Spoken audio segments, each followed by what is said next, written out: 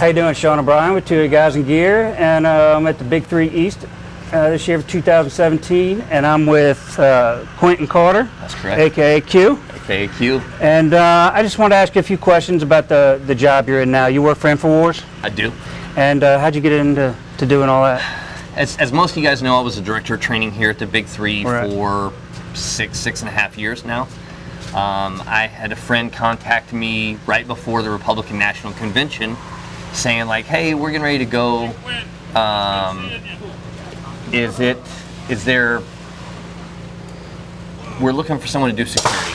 Right. And I was like, all right, you know, maybe I can help or whatever. And they're like, do you know who Alex Jones is? And I was like, I don't really know who that is. And like, have you ever heard of InfoWars? And I was like, yeah, I've heard of them. And they go, well, basically, Alex Jones is the, the host of the show. And we're going to go to the Republican National Convention.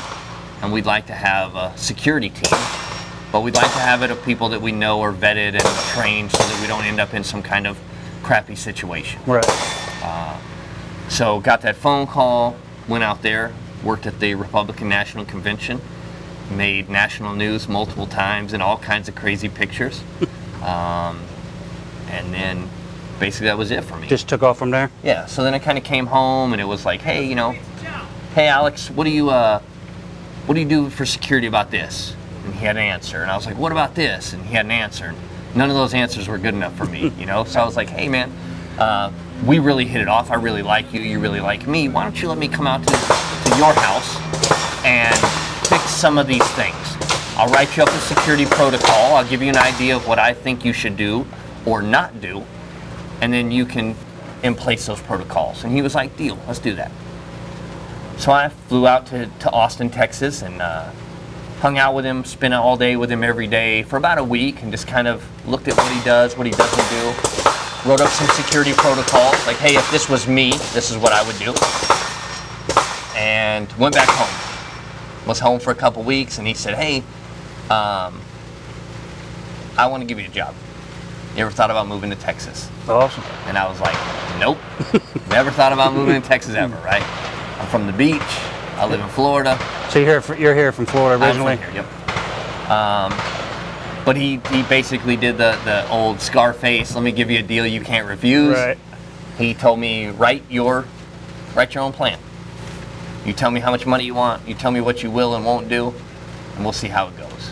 So I wrote something out and looked at it for a minute, and then added a little bit more to it, and sent it in. And he said, "Get to work." And I've been with him ever since. Well, that's awesome.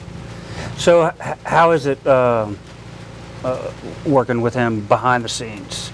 I mean, do you get to see you see all that crazy shit that goes on that the normal public doesn't get to see? I do see his life. I'm with him all the time. Um, I'm generally at his house in the morning before he wakes up.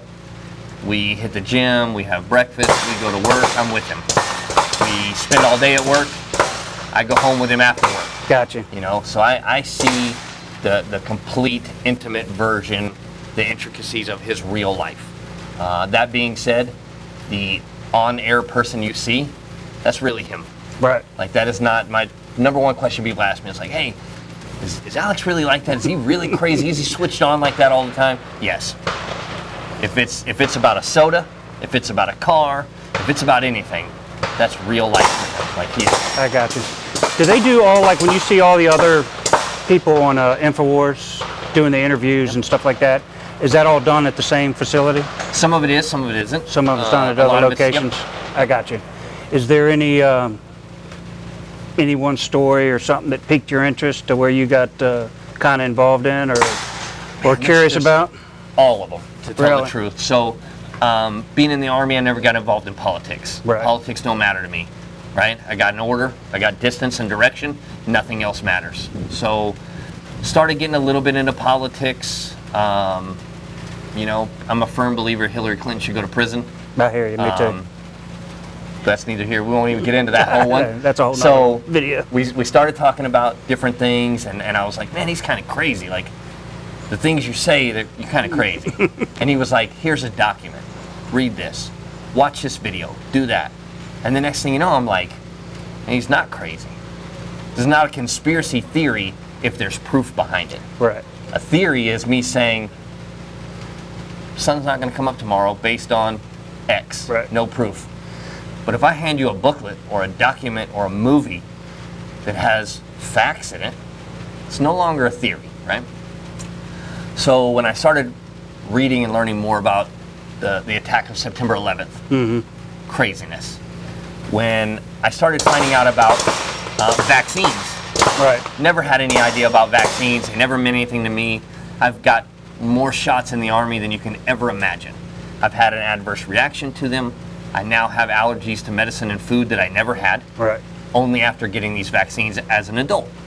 So when they start telling you stuff like a two day old baby gets a hepatitis B vaccine shot, it's a sexually transmitted disease or transmitted from intravenous drug use.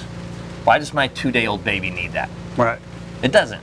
My baby's trying to develop, it's brand new. So I started getting into vaccines and learning about this and finding out about what I feel It's only my opinion, what is Right. important, what isn't important. And not that I don't think you should vaccinate your child. I don't think you should give your child seven shots in a day. I, I get There's, you. there's no way that that can be good for a baby. Yeah, I, um, I don't like the vaccines either. Yeah. Some of them. I think there are some that are yeah, important. You know, right. polio has been eradicated. Right. There is no polio vaccine. There is no polio disease left. Right. Why do we continue to vaccinate for it? I always wondered that myself. It's gone, right? Um, one of the big things Alex says a lot is Amish don't have ADHD because they don't get the same vaccines that we do. Autism and ADHD both have a direct link to vaccines. Child cancer is up 10,000%. So are the amount of vaccinations that we give and the rate at which we give them and the combinations that we give them. So all these things, that's now we're talking facts, not Right. anything else. And some of the some of the stuff I hear, like you said, it's like crazy, but then on the other hand, it makes you wonder. It starts it starts getting you to think. Um, so what's maybe the craziest thing you heard of while you were there that you found out that had some validity to it? 100% that 9 11 was an inside job. So, as a hardcore American, as a patriot, as a disabled combat veteran, you know, fought and killed and had friends die for the flag, mm-hmm. never in my life would I have believed. I probably would have fought you prior to that Right. had you told me that the government had anything to do with killing 2,700 Americans. Right. Like if you'd have told me that, I'd have fought you. Um, so I started learning a little bit more and reading more documents and seeing things, and I'm like, this is crazy. Certain things, and you watch the videos over and over and over, and it's like the plane would not go through the whole building. So how does the one video show the nose of the plane coming out the other side, but the FFA never found that nose? When the plane hit the Pentagon, the FFA says they found no plane parts. That that was my big. They never showed a video, and I work near the Pentagon. Right. I work in Arlington, and there's a bazillion cameras Everywhere. everywhere, everywhere in Arlington and DC and there's not you're on film. one video. Remember they had that one still shot Yeah. of like a little tiny Cessna kind of coming in on an angle. Right. But then it's like, okay. So I was like, ah, whatever. Like maybe that's not crazy. Well, then you find out there was a huge investigation over billions of dollars being stolen and misplaced by the government that had just been concluded like two days earlier that were all those records were being stored in the room that was hit at the Pentagon. And you're kind of like, not saying I believe it or don't believe it Right. yet, but now I'm like, I need to know more. Tower 7, right? Basic math. Let's think about this. Two planes, three buildings. How'd a third building fall? That was wondered that myself.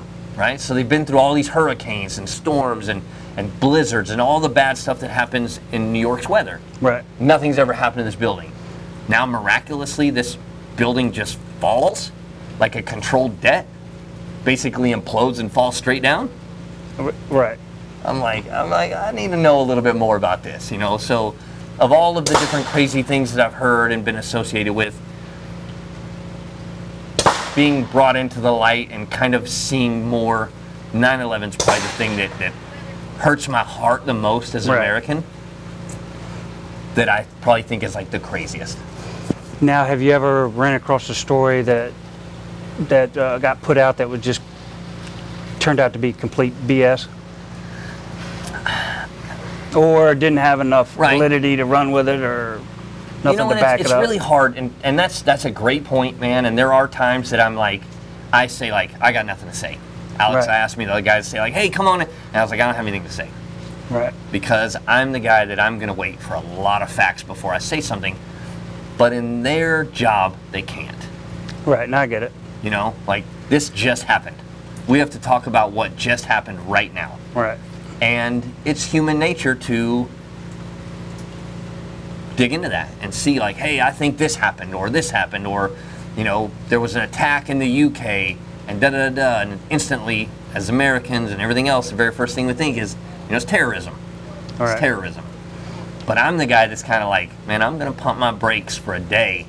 I'm going to wait for some stuff to come out before I say something. Um, you And know, it- so yeah, it seems now that like the media, it's everything's not terrorism. right. There's always something they want to push, but terrorism. But is, And- but is that the get it. agenda? I think they're they don't want the word used, Right. Radical jihad or is whatever other word you want to use. They just they don't want to say it and they don't want to use it. you know, look up the definition of terrorism. Right. That's right? It's in black and white. yep. These things match certain criteria. That's a that's a dictionary. You can read it. Here's what it says. Yep. You know, was the shooting in Las Vegas a terroristic act? Yes. Yeah. I'm not saying it was it was done by Muslims. I'm not saying it was done by anybody else. I'm not saying any of that stuff. I'm saying it was a terroristic attack. If you that, right, if you read the definition, it r- falls right in there. He preyed on innocent, Right. unarmed victims. Correct.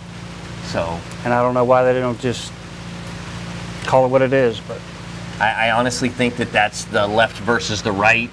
Um, that's their agenda. Yeah. You know, like they don't want to say it. Right. know, Hillary Hillary Clinton instantly tweeted, "Imagine how many people would be dead if we had silencers." Right. Well, one, they're suppressors; they're not silencers. Two, no one cares about your opinion; you're worthless. So, tweet that. Um, and Yeah. that was not a quote of her exactly. She said something along those lines. Yeah, Now, she tried to blame it on the NRA again. now she tried to blame it on the NRA. Feinstein, within 48 hours, has a banned uh, proposal Right. of slide fire stocks. Yeah. So we can't get anything else done in, in years. And now suddenly they want now to push this through in instantly, 24 hours. overnight, we can pass all these things. Yeah. So it goes back to this whole agenda, you know, and I, I would love to be able to say like, nowhere in my mind do I think that this is all part of someone's agenda, but I, I don't know. I hear you. It's kind of crazy to me. What are your, uh, do you kind of know what your plans are for the future with them or Yeah, my plans are just continue doing what we're doing, man. We're fighting a good keep fight. out? We're out doing what we can. We're getting the truth out to people. Uh, we're trying to spread liberty. You know, I'm a hardcore libertarian. Uh, I believe that you have certain rights as an American, the same that I do. Right. I don't care if you're gay and I'm straight, if you're Democrat, Republican. I don't care if, if I have gay friends that want to get married, that want to grow weed and protect it with machine guns. I don't care. Right. Like literally do whatever it is that makes you happy, as long as you being happy never infringes on me being happy or safe. Yep. You couldn't have said it any better. You know? Yeah. Um, I carry a gun, always. Guaranteed, you'll never, ever, ever find me any place that I don't have a weapon. But what's it matter? You Right. know? Like, It shouldn't. does it hurt your feelings? Not one bit. Right? Does it hurt that a lady that sits over in the restaurant that never sees my weapon? Should it offend her or affect her in any way? But it does, Shouldn't, but it apparently. does. Yes. But the difference is, I don't go out and complain Right. that she drives like an asshole. I don't complain that she texts and drives. I'm situationally aware. I watch her text or play on the phone. I just get away from the situation. Yep. They are the proverbial squeaky wheel. That's the one that gets grease. Yep. You whine, you complain, you whine, you complain, you get what you want. Whereas me, I get up every day, I go to work, I mind my own business, hear and at the end of the day, I go back home. Yep. All right. Well, I appreciate you uh, taking a few minutes to sit down with me and talk. Uh, I, I really did appreciate the appreciate it. opportunity. No yeah, problem. thanks, man. Anytime. And uh, you can check us out at 2AGuysAndGear.com and on Instagram at 2AGuysAndGear. Uh, you want to plug uh, Infowars? Absolutely, man. Infowars.com. Check it out. It's a Come get a, a non our version of what we feel is a non biased news source. cool. All right. Appreciate it, man. See you.